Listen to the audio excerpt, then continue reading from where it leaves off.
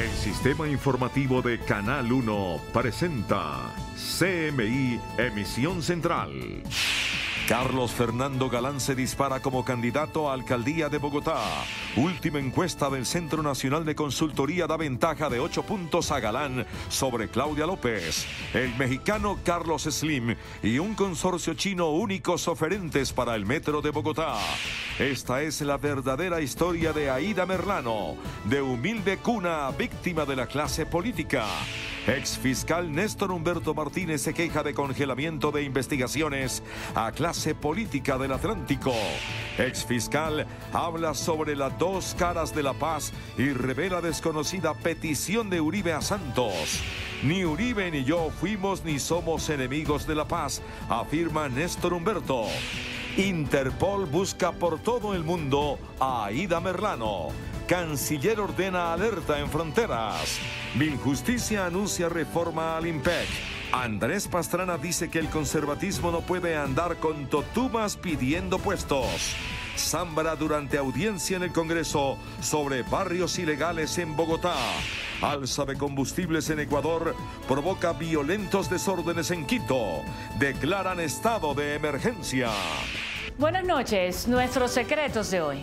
1. Las Contralorías de 194 países manifiestan su respaldo al nuevo modelo de control fiscal que comenzará en Colombia. 2. El Ministerio de Salud alista un decreto para promover la elaboración y venta de cerveza artesanal. 3. Todos quieren que la Corte apruebe la ley de financiamiento, pero los bancos hacen observaciones. Primera ñapa alerta de la Procuraduría por amenazas a candidatos. Y Miñapa, cambios en la liquidación de Saluco. Uno, dos, tres y las dos ñapas al cierre. Con Claudia Palacios y Margarita Ortega. Buenas noches. Carlos Fernando Galán tomó hoy el primer lugar en la encuesta de intención de voto para la alcaldía de Bogotá que realizó el Centro Nacional de Consultoría para CMI. Estos son los resultados del último sondeo. Si las elecciones para elegir alcalde de Bogotá fueran el próximo domingo, ¿por cuál de los siguientes candidatos votaría usted? Carlos Fernando Galán, 34%, Claudia López, 26%, Miguel Uribe, 13%, Holman Morris, 12%, votaría en blanco, 9%, por ninguno, 3%, no sabe, no responde, 3%. El comparativo de las últimas tres encuestas del Centro Nacional de Consultoría y de CMI arroja los siguientes resultados. Carlos Fernando Galán en agosto tenía 24%, en septiembre 23% y hoy sube al 34% de intención de voto. Claudia López en agosto tenía el 40%, en septiembre bajó al 34% y hoy tiene 26% de intención de voto. Miguel Uribe Turbay en agosto tenía 13%, en septiembre 16%, hoy tiene 13% de intención de voto. Holman Morris en agosto tenía 11%, en septiembre 9%, hoy tiene 12% de intención de voto. Carlos Fernando Galán vence a todos en los grupos de edades. Entre personas de 18 a 25 años, la intención de voto es esta. Carlos Galán, 37%. Claudia López, 32%. Holman Morris, 14%. Miguel Uribe, 5%. Entre personas de 26 a 40 años, Carlos Galán 28%, Claudia López 24%, Holman Morris 19%, Miguel Uribe 9%. Entre personas de 41 a 55 años de edad, Carlos Galán 38%, Claudia López 24%, Miguel Uribe 20%, Holman Morris 8%. Entre personas de 56 años o más, Carlos Galán 37%, Claudia López 26%, Miguel Uribe 19%, Holman Morris 7%. Esta es la ficha técnica. Director del Centro Nacional de Consultoría, Carlos Lemoine, comentó que el resultado de la encuesta que está esta noche divulgando CMI es una confirmación de la tendencia que desde hace tres meses venían mostrando sus estudios de opinión sobre el crecimiento de Carlos Fernando Galán en la intención de voto en Bogotá. Carlos Lemoine analiza que el primer lugar que esta noche tiene Carlos Fernando Galán en la competencia por la alcaldía de Bogotá ya se venía trazando en sus anteriores encuestas. Desde el punto de vista de las masas electorales que se están moviendo, es evidente que se están moviendo los jóvenes. Eh, Galán gana 20 puntos entre los jóvenes y lo mismo se está moviendo mucho los estratos populares. La candidatura de Galán es superior a los partidos y es netamente popular, dice Lemoine. Galán gana 20 puntos en el Centro Democrático, gana en el Partido Liberal y pierde en el Partido Conservador. De tal manera que se va volviendo la candidatura de Galán una candidatura más roja, más liberal. El encuestador cree que estas tendencias ya están consolidadas. La tendencia es, es marcada y, y es muy difícil que los ríos se devuelvan. Pero el director del Centro Nacional de Consultoría advierte que en estas tres semanas que quedan dependerá de cada campaña vencer o perder. Bueno, y tras conocerse los resultados de la encuesta del Centro Nacional de Consultoría y CMI para la alcaldía de Bogotá, Carlos Fernando Galán dijo que no es triunfalista y envió un mensaje a sus seguidores para que no se confíen y para que busquen redoblar el apoyo para ganar la elección del 27 de octubre. Carlos Fernando Galán fue sorprendido con el resultado de la encuesta del Centro Nacional de Consultoría y de CMI, visitando en la clínica del country a su esposa y a su nuevo hijo Juan Pablo aceptó interrumpir su actividad familiar para comentar los números que lo favorecen a tres semanas de la elección. Pues es un compromiso muy grande el que tenemos. Estamos buscando cambiar la manera de hacer política y llevar eso a la alcaldía para que la alcaldía pueda resolver muchos problemas que sufre el ciudadano en el día a día. Galán reafirmó su decisión de ser respetuoso con sus rivales y con la ciudadanía en esta campaña electoral y dijo que esa será su marca en la alcaldía porque creo que la pelea política sí ha afectado la solución de los problemas, no ha permitido realmente avanzar en lograr cosas que necesita la ciudad.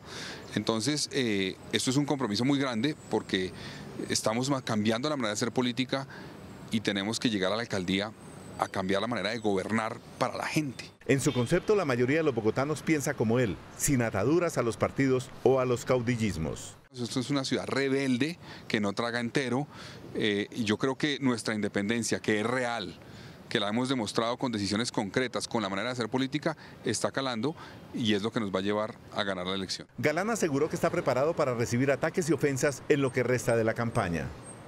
Entre tanto, se cerró la licitación del Metro de Bogotá, un consorcio del que hace parte el grupo del empresario mexicano Carlos Slim y otro de varias firmas chinas se disputan la construcción de la primera línea. El 21 de octubre se conocerá el ganador del contrato. Dos consorcios, Metro de Bogotá, liderado por el magnate Carlos Slim, y Apca Transmimetro, de origen chino, son las dos únicas firmas que aspiran a quedarse con el Metro de Bogotá. Bogotá aseguró el metro. Esto significa que hay confianza en las instituciones. El 21 de octubre se conocerá el ganador, responsable de la construcción y operación de la primera línea del metro. El contrato quedará en manos de la propuesta más económica, que según las presentadas el día de hoy, podría ser el consorcio chino Apcatrasmimetro. Hoy se presentaron dos ofertas con precios muy diferentes con precios competitivos entre ellos. Este jueves, tres firmas desistieron de participar. APCA Metro Capital, Sunrise y Unión Metro Capital. Es muy posible que algunos de esos seis grupos, al conocer esas reglas, que son exigentes, hayan tenido... Eh, hayan perdido el interés. La construcción del metro, que irá desde Bosa hasta la Caracas con 72, iniciará en abril del 2020 y empezará a operar en el 2025. CMI consultó en Barranquilla la historia de Aida Merlano, una mujer de origen humilde que, según varias personas que conocen su trayectoria, se convirtió en una víctima de los caciques políticos de la región. En esta escasa esquinera del barrio Buenos Aires, un sector modesto de Barranquilla, se crió Aida Merlano. En estas calles inició su trabajo político bajo el amparo del clan Gerley. Tenía 15 años. Bastante humilde espiritualmente, ¿no? Tratable con la gente, sociable, amigable. Visitaba mucho el barrio Carrizal, Buenos Aires, aquí, siempre dando vueltas por el sector, saludando a la gente. En este barrio y en el sector de Carrizal, Aida se convirtió en una cazadora de votos, líder barrial o popularmente llamada mochilera. Se vuelve el líder barrial del clan Gerlain, que ha sido uno de los clanes más poderosos del Caribe y del país. Muy famoso por sus prácticas eh, en la política tradicional, creadores en Barranquilla, o se dice que fueron creadores en Barranquilla el famoso TLC, tejas, ladrillos y cemento, que entregaban en barrios populares a cambio de votación pero a ella la describen como una mujer muy ambiciosa, que tenía muchas ansias de poder y de salir adelante, digamos, y ella encontró en la política un vehículo de movilización social. Su primer matrimonio es con un taxista, luego se casó con un desmovilizado del EPL y es ahí donde empieza a sentir el poder político de Julio Gerlain. Su belleza enloquece a unos y a otros.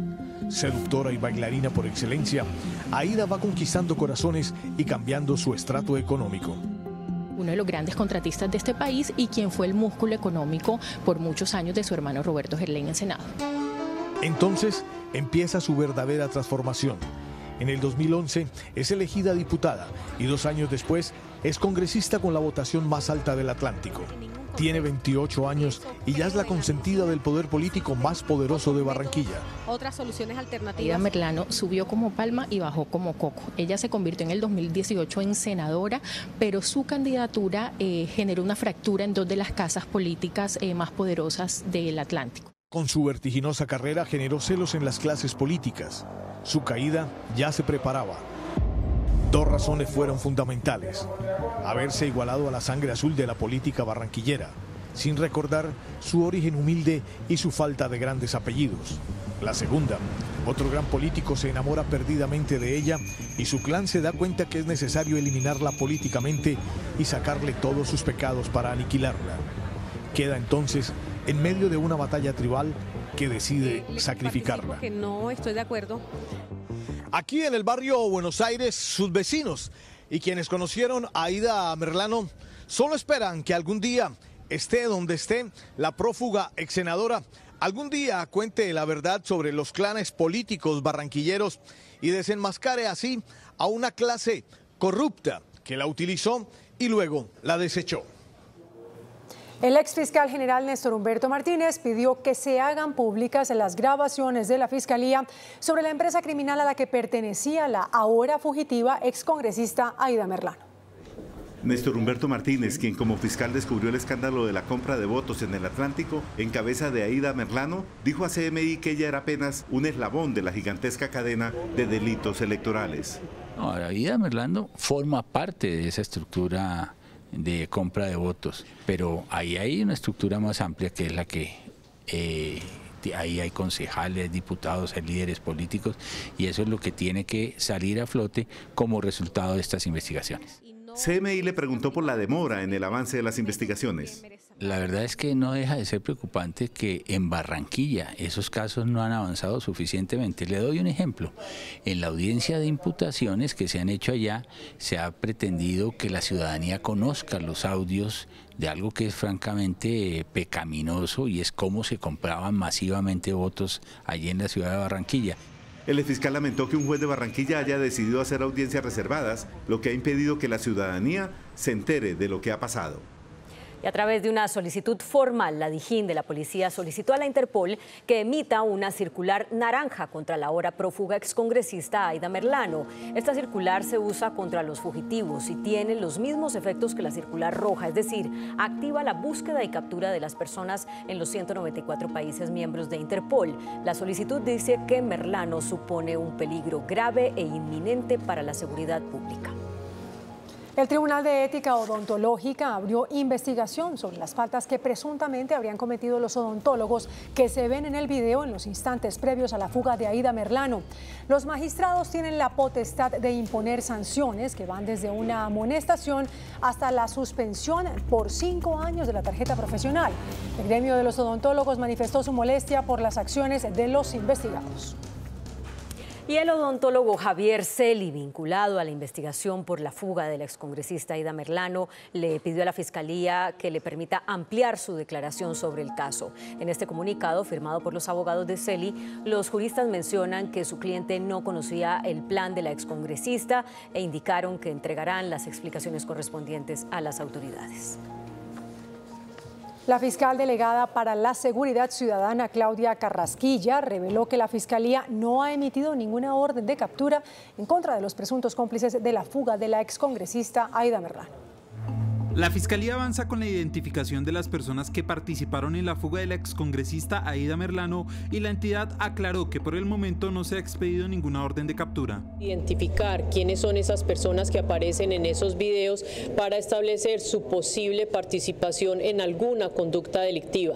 El delito que se está investigando en este caso tiene relación con un presunto favorecimiento de fuga de presos, caso por el que incluso ya fue llamado a declarar el odontólogo Javier Celi. Tiene un sujeto activo calificado muy específico y es quien tiene la custodia sobre esta persona y por esa razón nosotros aún no hemos tomado ninguna decisión dentro del proceso penal. Asimismo, las autoridades señalaron que siguen los operativos para dar con el paradero de la excongresista. Bueno, y el presidente Iván Duque ordenó redoblar los esfuerzos para capturar a la prófuga excongresista Aida Merlano, mientras que el canciller Carlos Holmes Trujillo aseguró que Migración Colombia está alerta para evitar que salga del país. Desde Valledupar, donde asistía a la inauguración de obras recreativas, el presidente Duque fue categórico. Hay que capturarla. Presidente. Hay que capturarla. La vamos a capturar. Y en Bogotá, el canciller Carlos Holmes Trujillo dijo que Migración Colombia está en alerta máxima para evitar que Aida Merlano salga del país. Tiene dos registros, uno por la pena que está cumpliendo y otra por fuga de presos. Y el director de Migración ha ordenado que el envío de las fotografías a los distintos puntos migratorios, al igual que la tarjeta decadactilar, para incrementar las precauciones que en este momento existen. Es decir, está en alerta la migración para evitar que... En, alerta. Para evitar que ella se fugue. Así es, así es, en alerta. El gobierno nacional manifiesta que recapturar a Aida Merlano es una prioridad. La ministra de Justicia, Margarita Cabello, aseguró que se necesitan cambios estructurales en el Instituto Penitenciario y Carcelario. Según la titular de la cartera de justicia, detrás de este episodio hay una cadena de errores. Hubo una ruptura y un incumplimiento en los protocolos del IMPEC. Si nos ponemos a mirar, eh, salió con una sudadera debajo de, de su ropa que había que requisarle estar pendiente. Para la ministra la situación tocó fondo. Pensar en liquidarlo, que es una de las posibilidades, implica analizar también qué viene. No puede haber una irresponsabilidad de decir vamos a liquidar porque es muy rico decirlo, pero ¿qué viene? Por su parte, funcionarios del IMPEC aseguraron que acabar con la entidad no es la solución. La solución para el sistema carcelario es fortalecer con recursos eh, humanos y técnicos nuestra eh, función resocializadora. Por ahora, el Ministerio de Justicia está analizando hojas de vida para nombrar al nuevo director del IMPEC. Alerta en Colombia por la forma como se disparó el número de pacientes diagnosticados con cáncer de seno y de piel. La preocupación en la comunidad médica tiene que ver con la forma como aumentó en Colombia el número de pacientes diagnosticados con cáncer de seno o de piel. Según el Centro Internacional de Investigaciones Globocan, en 2018 se registraron 13.380 casos de cáncer de seno, 7.000 más que los diagnosticados en 2012 cuando la cifra llegó a 6.000. Obviamente sumado a, las, eh, a los estilos de dieta, a los factores hereditarios, pues obviamente una mujer va a estar en riesgo permanente de desarrollar un cáncer de mama. Respecto al cáncer de piel denominado melanoma, la cifra en 2018 llegó a 1.907 nuevos casos, 704 más que los 1.203 diagnosticados hasta 2011, según el Instituto Nacional de Cancerología. Se están diagnosticando más cáncer en etapas mucho más tempranas que lo que habíamos se encontraba previamente, que son mujeres con cánceres mucho más avanzados. Para prevenir el cáncer de seno, la recomendación es el autoexamen y para el melanoma el uso de bloqueador y por supuesto evitar la exposición al sol, sobre todo en los niños. En general, en Colombia hay 275.348 personas diagnosticadas con cáncer. Con un fuerte discurso contra su partido, el expresidente Andrés Pastrana participó en el evento de conmemoración de los 170 años de conservatismo. Dijo que la colectividad anda con Totuma en mano, ofreciendo sus principios a cambio de puestos. En la conmemoración de los 170 años del Partido Conservador, el expresidente Andrés Pastrana, quien fue el último presidente de esa colectividad en el periodo de 1994-1998, fustigó con dureza a su partido. El gran partido de Ospina y de Laureano Gómez es ahora una lánguida comparsa que acude al Palacio Presidencial con la totuma en la mano ofreciendo sus principios a cambio de unas cuantas migajas de burocracia, como se hizo vergonzosamente en el gobierno de Santos y su inconstitucional proceso de paz. Pastrana también reclamó que hoy no hay lucha ideológica, sino lucha burocrática.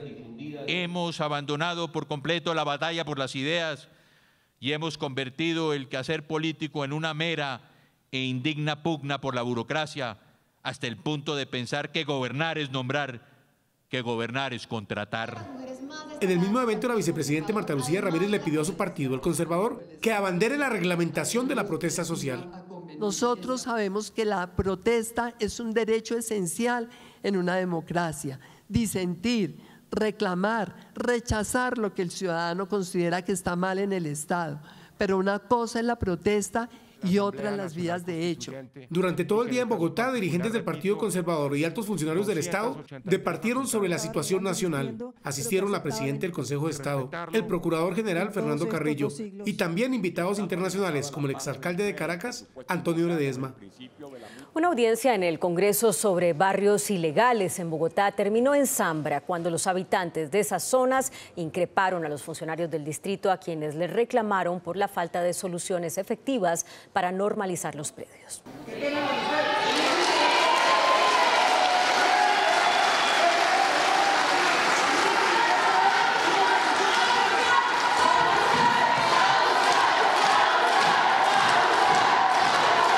En medio de esta zambra transcurrió parte de la audiencia pública organizada por el partido FARC por la legalización de barrios ilegales en Bogotá. Los habitantes de estos sectores no encontraron por parte de los funcionarios del distrito una respuesta a sus inquietudes.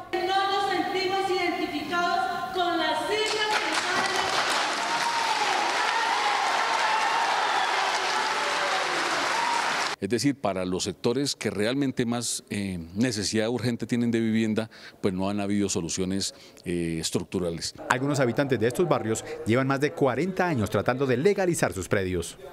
El árbol flor amarillo sembrado por el Papa Francisco durante su visita al Parque Los Fundadores de Villavicencio fue envenenado. La planta fue sometida a un tratamiento para lograr su recuperación luego que las autoridades notaran un cambio en el color de las hojas. Inicialmente se cree que fue rociado con un tipo de combustible que aún no ha sido determinado. La Iglesia Católica de la ciudad rechazó el acto al que describió como acto de intolerancia.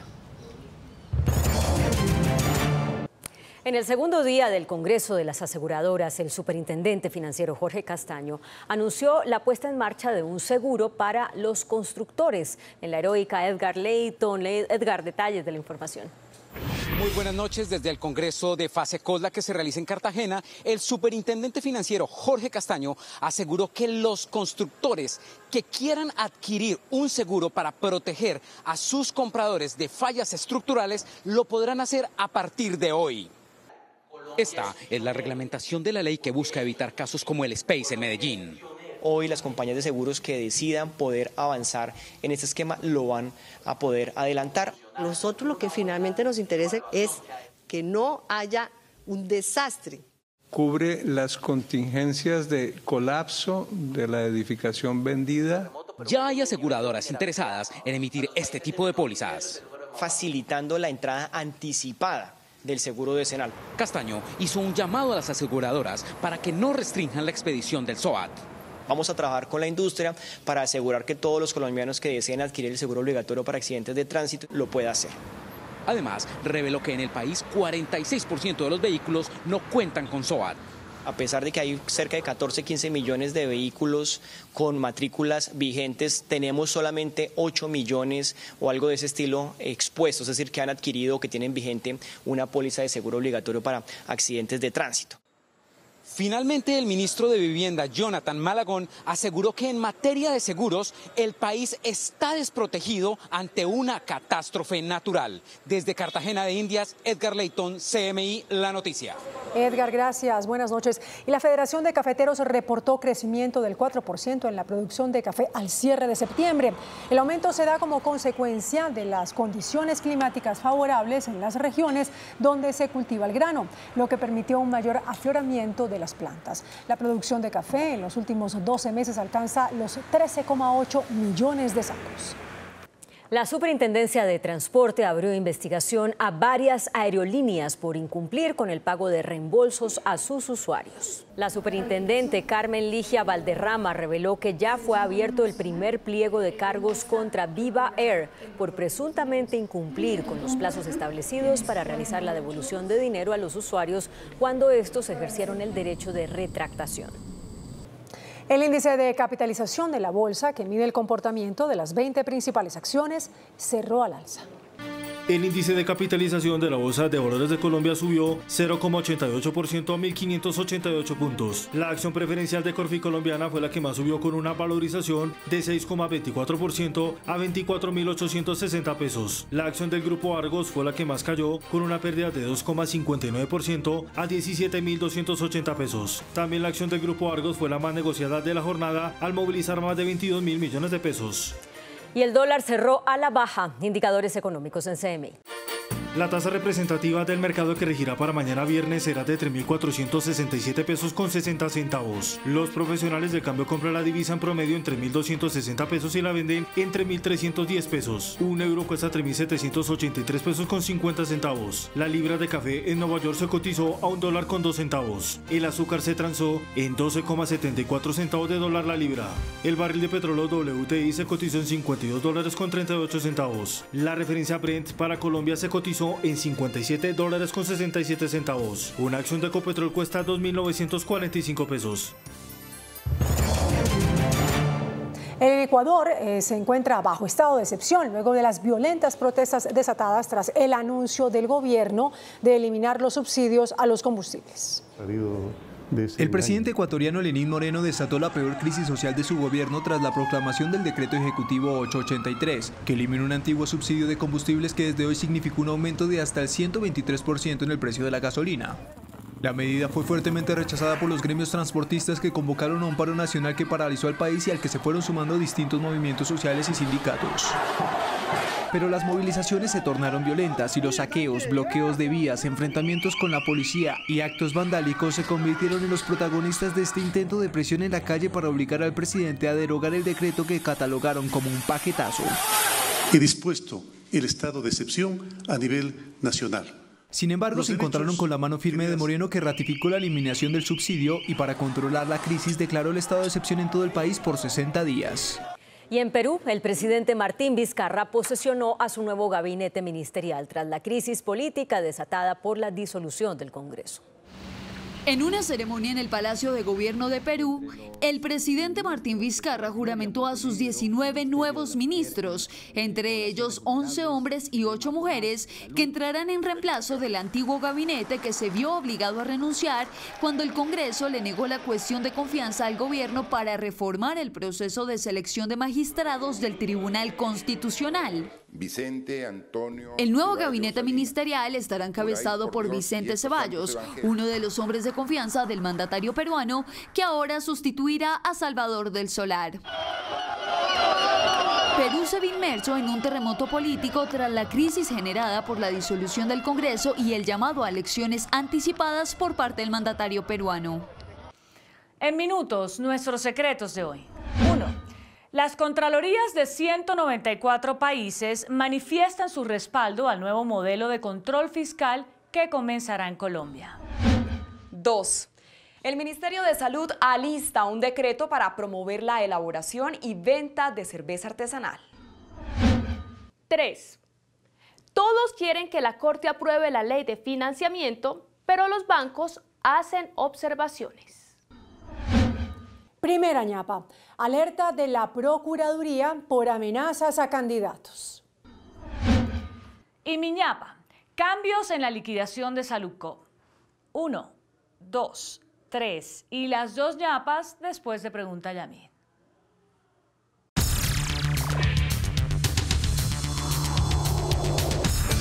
Resultados al sondeo de anoche.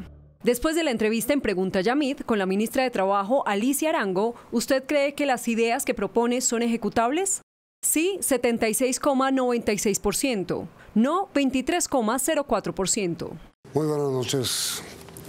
El uh, señor exministro y ex fiscal Néstor Humberto Martínez acaba de lanzar un libro sobre las dos caras de la paz, en donde narra historias que él vivió y que él protagonizó muchas veces sobre cómo llegó finalmente el país al acuerdo de paz con las FARC. Es nuestro invitado esta noche. Las dos caras de la paz, doctor Néstor Humberto, ¿cuáles son las dos caras? Pues muchas gracias, Yamed. Las dos caras son la existencia de unos elementos o episodios ambivalentes que hay que ponerlos en conjunto para entender qué pasó con el acuerdo de paz y en el posconflicto. Por ejemplo, el gobierno de una manera decidida llevó al país a un acuerdo de paz para que se acabara el tema del narcotráfico también, que es el combustible de la guerra en Colombia. Y en el capítulo cuarto del acuerdo de paz se dice que se acabará toda relación con el narcotráfico. La otra cara es que lamentablemente un grupo minúsculo, reducido de los reinsertados, mantuvo relaciones según las evidencias que se lograron acopiar con el narcotráfico y con las disidencias. Dice, por ejemplo, Marlon Marín en, la, en una diligencia judicial. El sobrino de Iván Márquez. el sobrino de Márquez dice. Detenido en Estados Unidos. Que está detenido eh, en Estados Unidos. Como testigo. Es testigo protegido del gobierno americano. En una diligencia con la Fiscalía Colombiana el 16 de mayo dijo que Jesús Santriz me decía que él tenía comunicación con la gente de las disidencias y que la gente de las disidencias eran las que manejaban en algunos sectores del país la elaboración de la droga. Eso es muy delicado porque uno de los acuerdos de la esencia y que procuró con mayor énfasis los negociadores es que no hubiera ninguna relación con el narcotráfico y que se acabara el narcotráfico, porque sería riesgosísimo que un partido que entra a la democracia mantuviera vínculos con las drogas ilícitas y sobre todo con el financiamiento ilícito que eso produce. Por fortuna, digamos, ese tumor está extinguido y hoy las directivas de ese partido y los 10.000 desmovilizados saben que ese es parte del acuerdo y que no puede haber ninguna relación con narcotráfico. Esas son las una de las dos caras. En esto de las dos caras, la conclusión suya, eh, luego de, de su paso por la Fiscalía, es la de que la gente de las FARC que estaba negociando droga, fue la que se retiró finalmente de las FARC, es decir, Iván Márquez y Santos y compañía.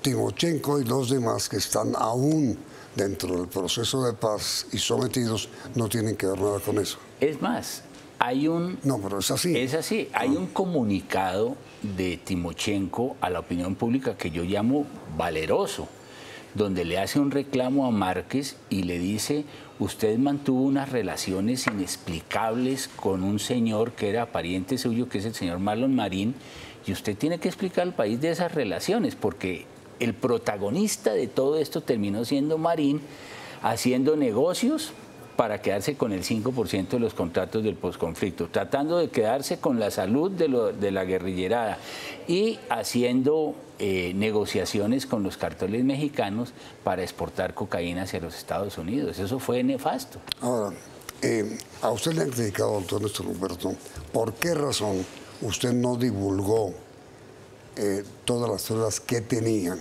antes, antes, antes de que lo hiciera, pues? Antes de que fallara la JEP. Sí. Sí, eso no es cierto.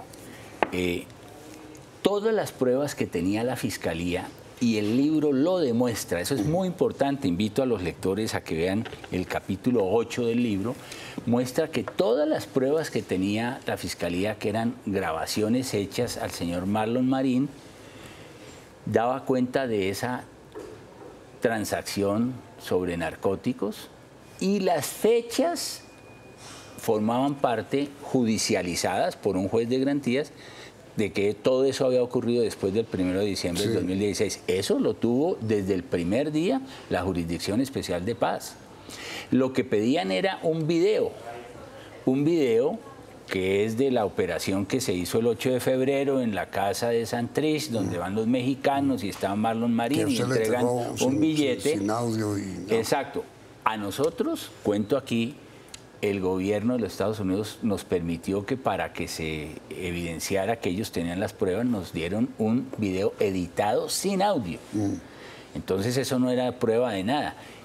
Y el gobierno de los Estados Unidos, cuando tomó la decisión la JEP de darle la libertad a Santrich, inmediatamente colaboró con Colombia para que entonces el caso se desarrollara en Colombia y le entregó ese día estamos hablando del 15 de mayo de este año, el video, pero antes la Fiscalía no lo poseía. En varios apartes de su libro, doctor Néstor Roberto, dice usted que no es cierto que ni el expresidente Uribe ni usted fueran enemigos de la paz. ¿Cuál fue el origen de esa versión que circuló en su momento y aún circula? En Colombia no hay enemigos de la paz. Es que eh, nadie puede decir que un sector de la sociedad es guerrerista y que quiere ver una confrontación para que haya muerte de sus hermanos. Eso, eso no es posible, sociológicamente es inexplicable. Y lo cierto es que eh, aquí entrego todas las evidencias documentadas. Todo esto está soportado en 43 cartas que escribí a lo largo de esos tres años sobre el proceso de paz. Primero, al mes de haber llegado a la fiscalía, dije Cuidado con el narcotráfico, eso lo dije en septiembre del 2016. Le mandé una carta al ministro de Justicia. Se viene un boom de los narcocultivos y si eso llega a ocurrir, septiembre del 2016, se van a expropiar los dividendos de la paz. No va a haber paz en los territorios porque van a llegar sectores a quedarse con esos cultivos y a generar una nueva expresión de violencia en las zonas de consolidación. Eso lo dije en septiembre del 2016. Mm. Alguien dijo en esa época, uy, Martínez empezó a aguar la fiesta porque todos estábamos embriagados con el tema de la paz. Yo estaba llamando la atención, cuidado, cuando en ese momento había 70 mil hectáreas de coca en Colombia. Pues bien, tres años después había 200 mil hectáreas. La política antidrogas fue un fracaso y llegamos a generar el combustible de una nueva expresión de violencia. ¿En dónde? En esos territorios. Eso no es ser enemigo de la paz, eso es ser amigo de la paz y llamar a la responsabilidad del sector público para que en el posconflicto tuviéramos presencia de Estado en esos territorios. La situación final, ¿cuál fue? Que no llegamos oportunamente a esos territorios y la violencia que hemos experimentado y el crecimiento de los ilícitos lo vemos en Nariño, en el Cauca, en el nordeste antioqueño, en Santander. Entonces, todos esos llamados de atención que eran ruidos que la gente oía y decía, ay, con eso se estaba molestando la paz. No, era para que la paz saliera bien. Por ejemplo, el tema de los activos. No, pero un momentito, un momentito. Antes de eso, usted califica en varias ocasiones en el libro al expresidente Uribe como patriota. Y hace una revelación que la verdad nosotros no conocíamos.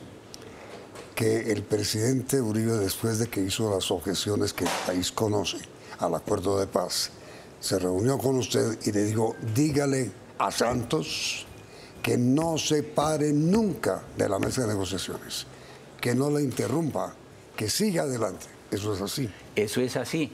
Esa fue usted recordará que no había ningún diálogo político entre el gobierno del presidente Santos y Uribe. Y a solicitud del presidente Santos, yo busqué una entrevista con el presidente Uribe y él quiso hablar conmigo como ministro de la presidencia. Al salir de esa reunión, que por cierto cuento en el libro, que había tal grado de periodistas que recuerdo ver al camarógrafo de SMI colgando del techo para poder hacer las tomas. Eso es cierto. Pero que usted no dijo la verdad, la verdad de lo que había pasado. Pues. Ah, yo no conté lo que había pasado porque eso tenía que quedar en la intimidad del diálogo. Lo que dijo Uribe. Exacto. Dígale a Santos. ¿Qué fue lo que dijo Uribe? Uribe en esa reunión. ¿Qué fue lo que dijo Uribe que hasta ahora usted lo revela? Como ya se nos acabó el tiempo para hoy, los invitamos a ustedes para mañana y continuar este diálogo con el ex eh, fiscal de Roberto Martínez. ¿Qué fue lo que dijo Uribe? Lo que a través de nuestro Roberto Martínez, lo que le mandó decir al presidente Santos. Tema para comenzar el programa de mañana.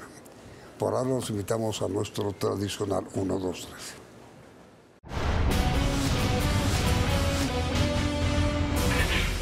Nuestros secretos de hoy. 1. Acaba de terminar en Moscú el encuentro mundial de Contralorías de 194 países que se realiza cada tres años. Esta cumbre concluyó con una manifestación de respaldo al nuevo modelo de control fiscal que se empezará a aplicar en Colombia y que aprobó el Congreso de la República.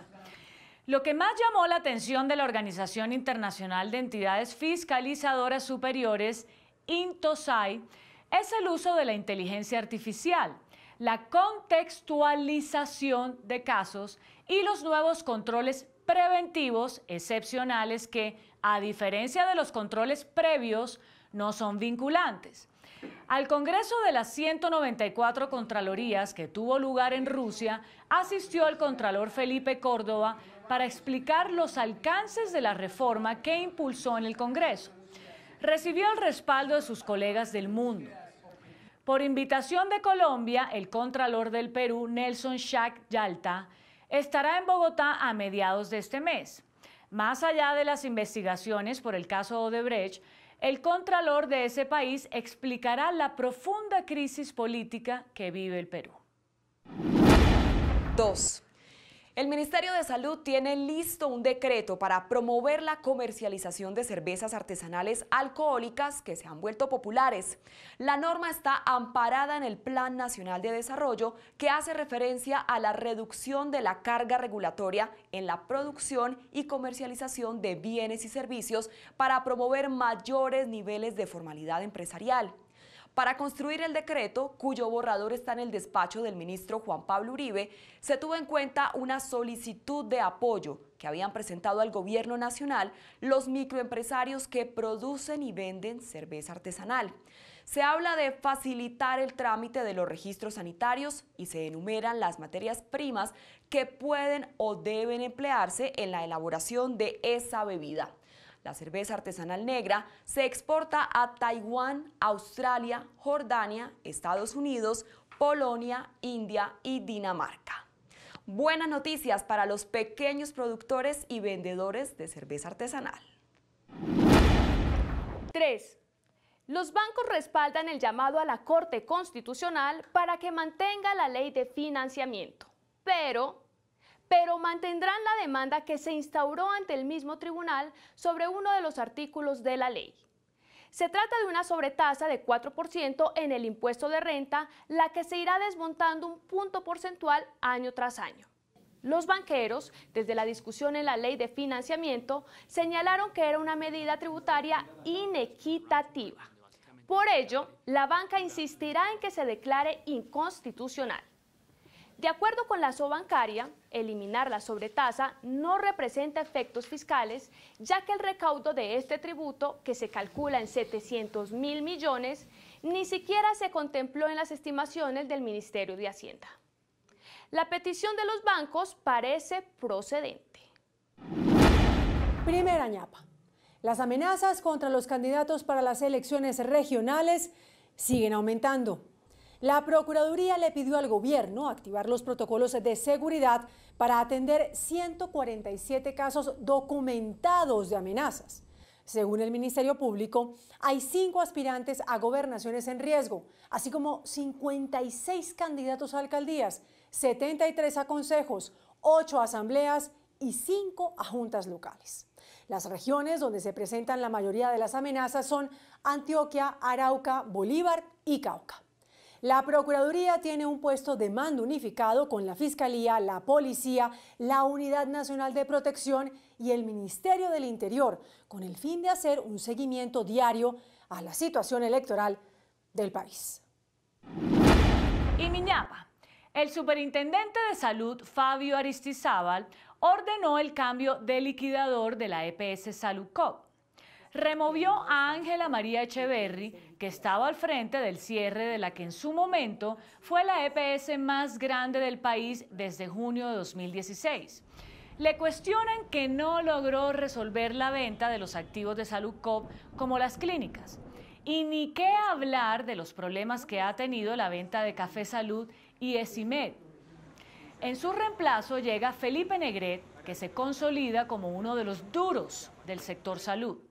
Negret y su grupo de abogados han tenido a su cargo la liquidación del Seguro Social, la del Sol Salud EPS, la del monstruo de Caprecom, la de lo que quedó de Café Salud, la EPS indígena Manexca y Confacor. Hace pocos días lo pusieron como interventor de Cruz Blanca y ahora Salucop. Ahí les dejo la lista, porque si tienen alguna cuentica pendiente con esa CPS, ya saben con quién tienen que hablar. Yo lo llamé para que también prohíba los toros, ya que fue presidente de la Corporación Taurina de Bogotá. Y no me pasó el teléfono. Hasta mañana. Que descanse. Hasta aquí CMI Emisión Central. A continuación, El Sultán. En el Canal 1 estamos llenos de ti.